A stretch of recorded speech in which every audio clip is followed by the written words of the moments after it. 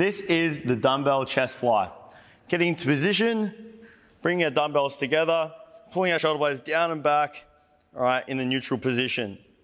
From there, all right, as we bring the dumbbells down, we are driving our chest up, getting that stretch through the chest, and then coming through, squeezing the chest and rotating our wrists in a supinated position.